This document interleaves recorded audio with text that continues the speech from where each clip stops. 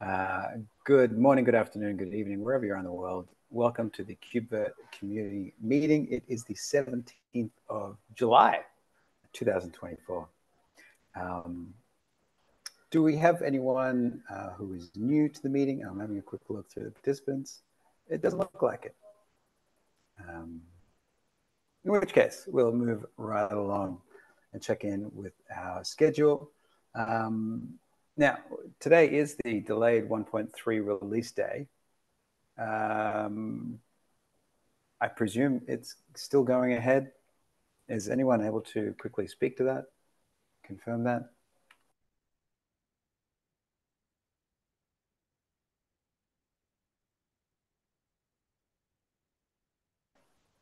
Stu, I'm looking in roughly your direction.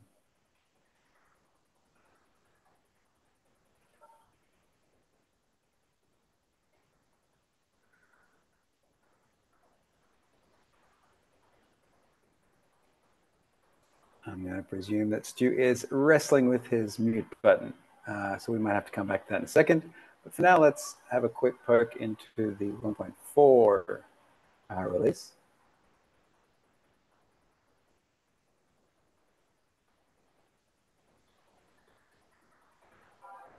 Very slow. Alrighty. So key dates to be aware of is the 13th of August, that roughly four weeks time, we've got the Kubernetes 1.31 release. The 22nd of October, we have the uh, KubeVirt 1.4 feature freeze. And the 12th of November, we'll have GA.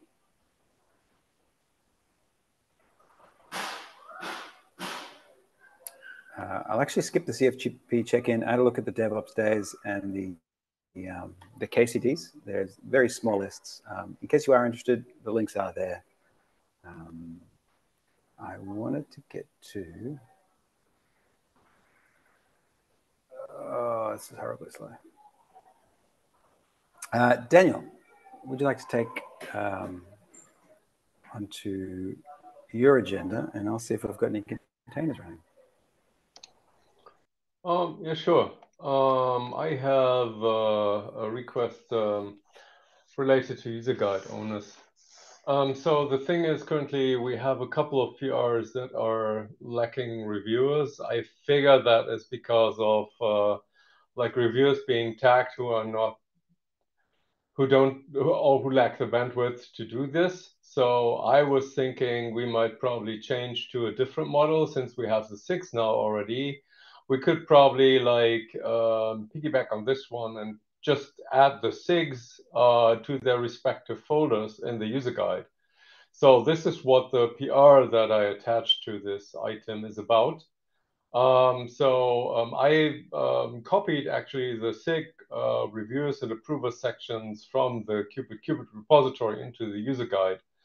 Um, and oh, did I fix, did I put in the wrong link? Oh, that's sad.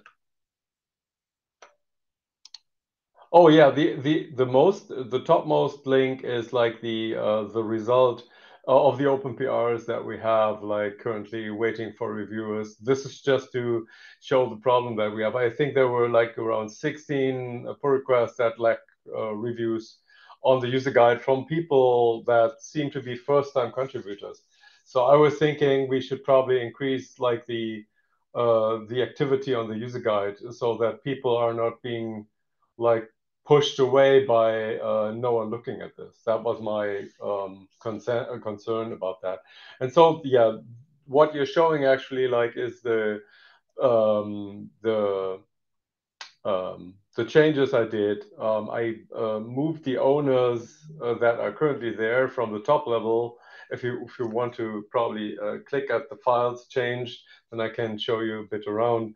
I moved the reviewers and approvers that are actually there into the owner's aliases file. That is, um, if you if you um, go to the left um, and take the, yeah, there it is. Uh, I added the uh, and approvers, but below that there is like also the SIG test reviewers, SIG test approvers, and all these um, have been just copied blindly towards this one. And then when you look at the docs sections where the folders are, for example, like for cluster admin, compute, debug virt stack, and network on the left, when you where you have the uh, the, the several things. I just refer to the, for example, for the cluster admin, yes, exactly. I just refer to the SIG compute reviewers and SIG compute approvers. So maybe that helps um, in like um, um, getting uh, the specific people to review things that they should somehow own. Also, obviously, this is like also solving the problem that people from SIG, for example, like from SIG storage could own their own stuff uh, with that so that they have like the SIG, uh, storage approvers, for example, would be able, would be eligible to approve anything inside the storage folder, for example, um, which could probably lead to, um, yeah, people being more able to fix their problems of their own. Oh, so uh, maybe, Andrew, you can put it in better words than me. I'm sorry for that.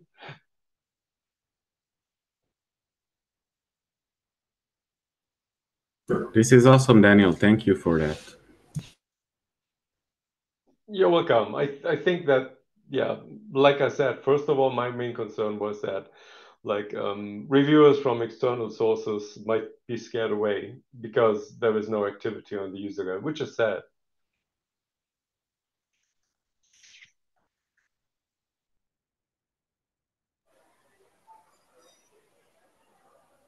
Yeah, I'll um, I'll plus one that. This is uh, this is great work and a nice kind of um, meeting of the recent changes to our SIGs and the recent reorganization of our user guide uh, together. Kind of makes this, um, yeah, a, a, really good step forward in um, in honoring in responsibility in res responsibilities of different parts of the user guide.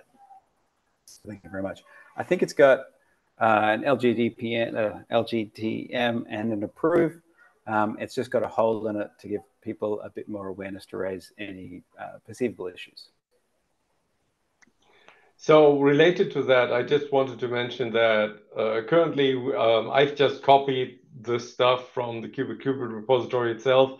In the long run, obviously, there should be some automation that syncs all the owner's aliases files so that we um, have a central repository somewhere where we store all these this information and would then sync on the several repositories the owner's aliases files with these. So, um, but yeah, so that's something that we would need to tackle in the long run. For now, we need to like make up with manual copy paste stuff.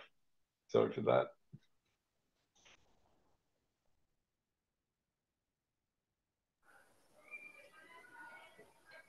And that makes a lot of sense. And yeah, really sorry, this, my system seems to be really lagging today, um, more so than usual.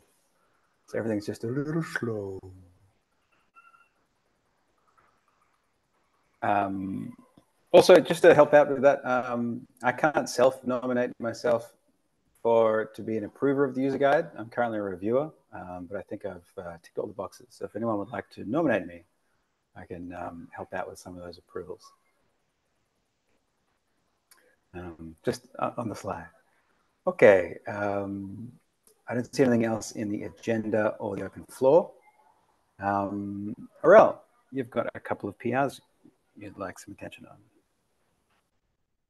Yeah, so the uh, the first one is the support for the compute container resource overhead in the network binding plugins that uh, was merged on main and on 1.3 and is also approved by the SIG network approver. And we currently need a co-maintainer to approve it.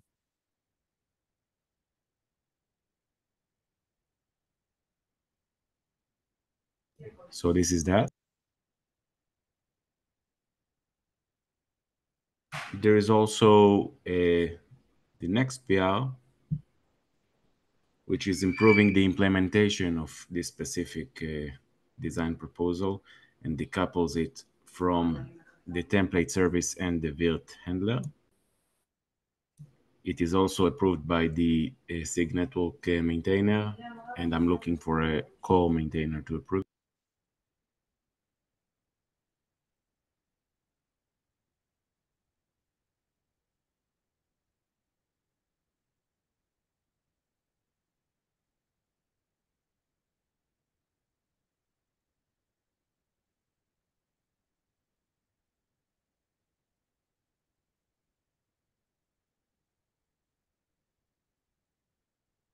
There's also the next PR that I'm not sure who uh, raised it, but it's a PR that was opened by a person that I'm currently helping to onboard the project.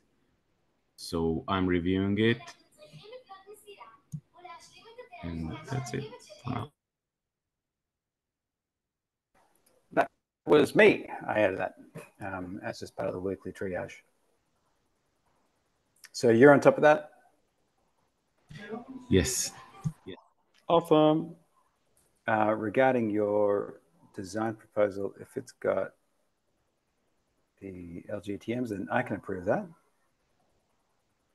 Um, this one, you need a core maintainer. I see a couple in the meeting today. Um, yeah, so before approving it, I think that someone from SIG Compute should also approve it, so it won't get approved without their approval first. Yep. Well, I think the two One people that I see, Jet, Jet, and Stu, are both in uh, SIG Compute. So since they're here. Yes, this is Jet. I'll have a look. Thank, Thank you. you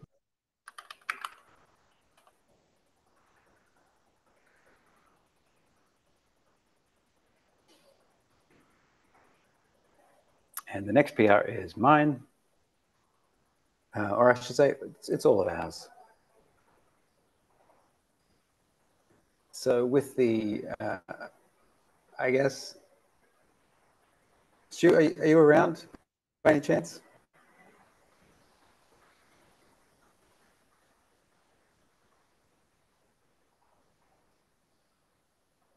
All right, now you can hear me. Sorry, double mute. Hey. Um, yeah, I was wondering if you had any um, uh, greater awareness than I about the 1.3 going out today. Oh, is it today? Let me check that. Uh, oh, hey. Lubo's here. Yeah. It's getting there slowly.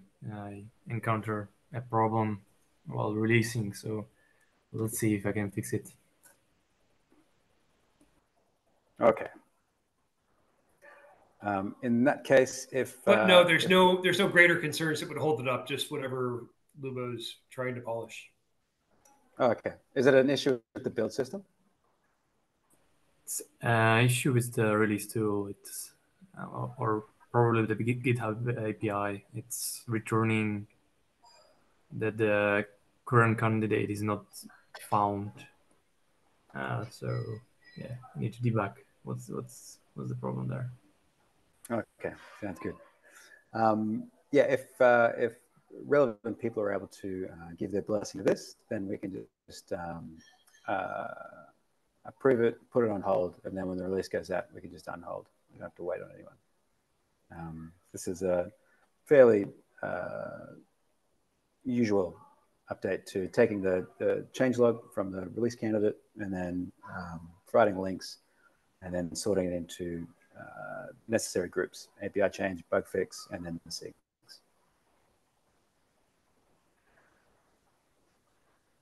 Okay. Um, and yeah, I'm sure you will, but if you could please keep me posted about the uh, 1.3 release.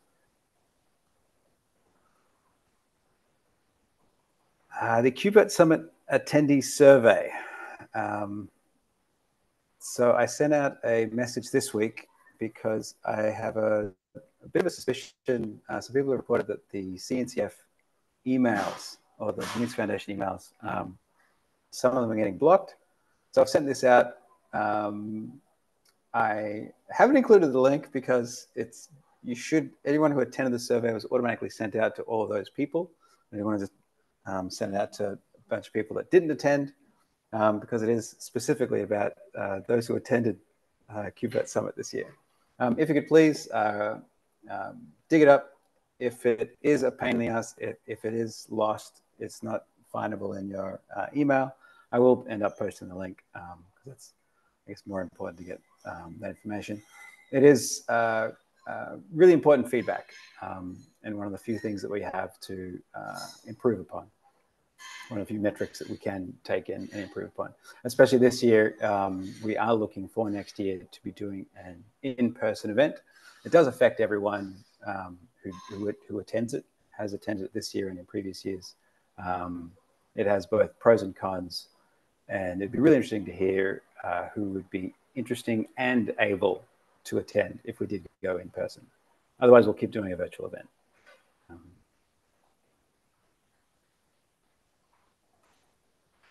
We've got two bugs. You'll bear with me in my hectic lag.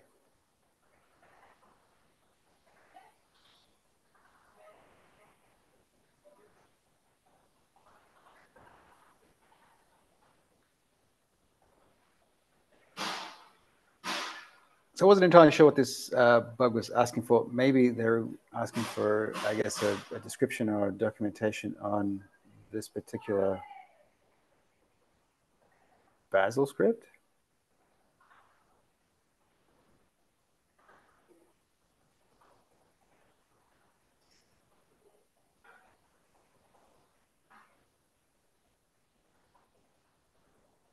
Is anyone able to help me out here?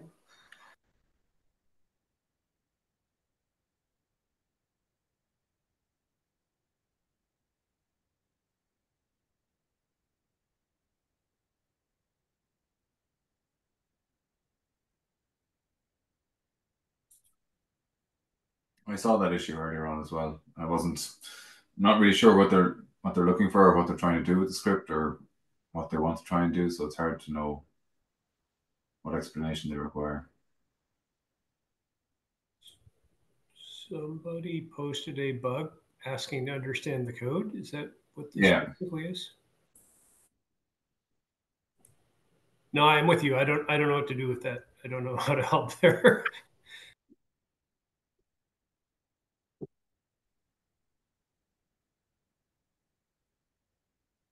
I can I can respond just asking maybe a follow up question just to see what they're what they what they want from that issue, and if they don't get back, probably potentially close the issue.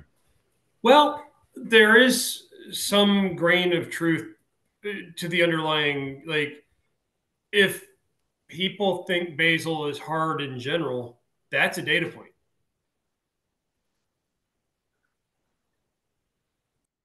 Oh yeah, yeah, definitely, definitely. But um, this this script is only just for creating uh, a local cache, I believe. So, um, maybe they're trying to create their own cache or something along the lines of that. So I just I just contact them back and see, and um, if I can help them in any way. Thanks, man. Much appreciated.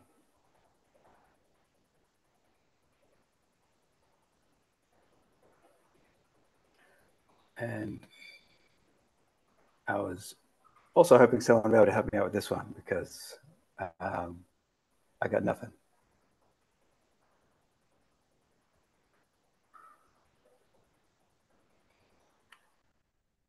So this is a feature request for a different networking stack.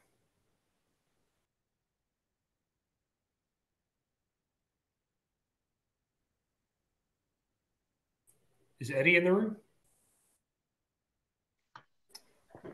I think I saw Eddie was off. Eddie, Eddie is on PTO for at least a week, and I think this guy is uh, talking about storage, isn't? I also, I also think this is, yeah, this is uh, storage, just this new uh, standard trying to break out where you do NVMe over uh, fabrics. But I, I don't know why there wouldn't be. You can tag me in there. I'll make sure uh, discussion is started.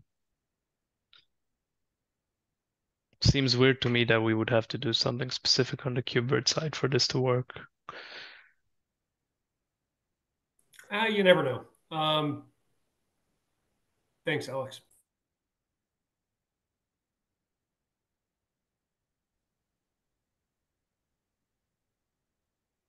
Indeed. Thanks for just two little things I wanted to do before we wrap up. Uh, I've got two flake test fixes.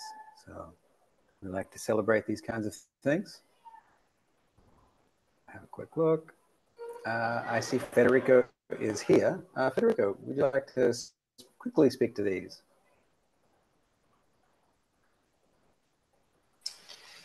Oh, uh, sorry guys. Uh, hello. Yeah, basically it was uh, already a quick fix. Uh, I tried to refresh my memory actually, uh, but yeah, I think that uh, the test was uh, getting all the nodes and just pick ones from the list, and and then tries to get the um, the virt uh, the virt handler certificates to perform some um, some requests. Uh, but uh, in some environment, this can be uh, not true because uh, you know in, in our CI uh, we have the control plane and worker nodes in the same.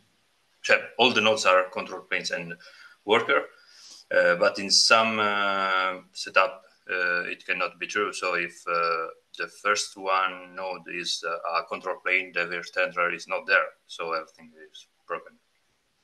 This is a quite easy fix. So instead of retrieving all the nodes, just schedule it once. Hey, Federico. Um, I recall a food fight from about a year ago about the meaning of the scheduling flag, and there are some bitter discontent about the definition and if we should be using it, blah, blah, blah.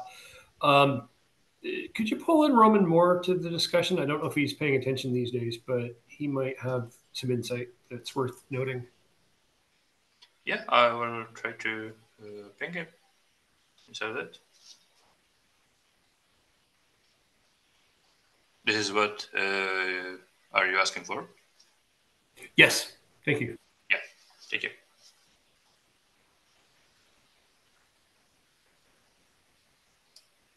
And while you're there, you've got another one here as well. So if you could um, also have a quick. Yeah, uh, this is uh, easier uh, than the previous one.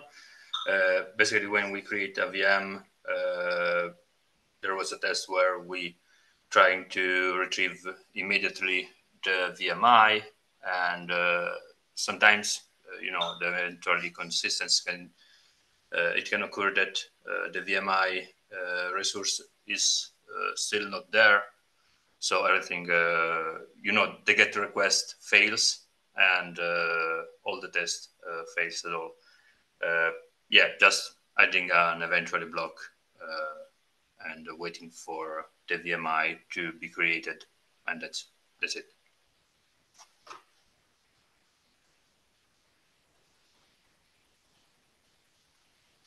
Awesome, thank you.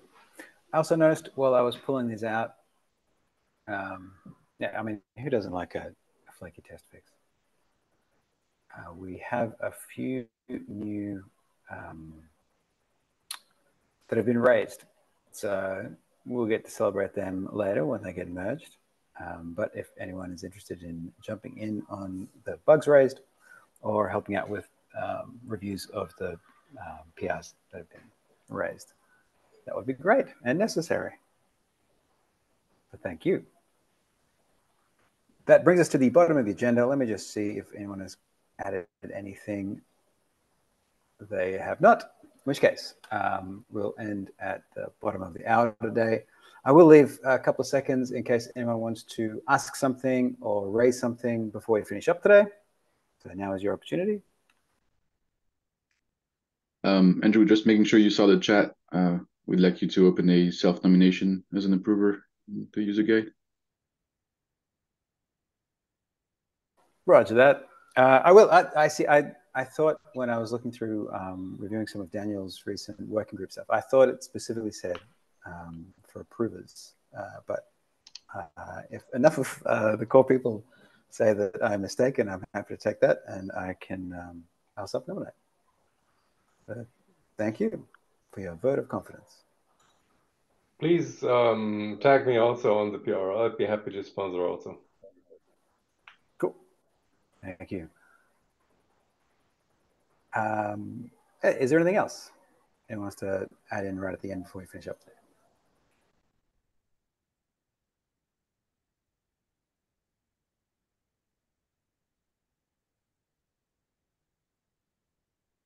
In which case, we will close there. Thank you all very much for attending this meeting, for being involved, and for everything you do in the community. Hope you have a lovely day, and we'll see you all next week. Cheers. Bye. Thanks, guys. Thank you. See you. Thank you, Andrew. See you. Bye.